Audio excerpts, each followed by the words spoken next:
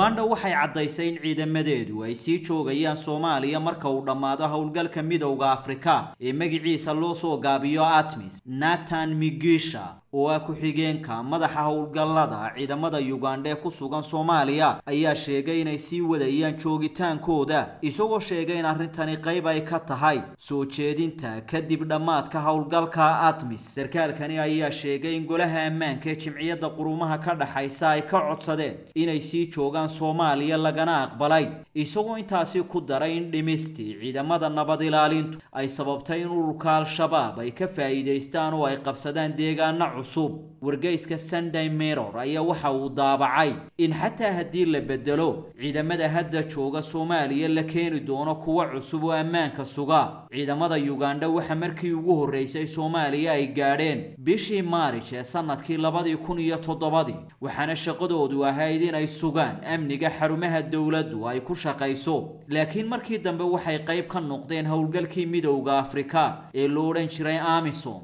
oo qaabilsanaa la dagaalanka kooxaha argagixisada ah. Maasha allah soo dhowaada. La jaanqaad shirkadda telesom. Maxmed waxay kuu diyaarisay adeegga internetka ay faibar optiga kaasoo xawaarihiisu kala go' lahayn. Waa guji waa ishaa biligteeda. Intuu soo gudlanayo hadalba gam hagarla'ii ku isticmaal sochial midiyaha kuna daawo wararka cayaaraha iyo onlaine geemiska haddaba maxmed soo gasho gurigaaga xafiiskaaga iyo goobtaada shaqo فضلا نقل سو حديد نمبر كقابن 121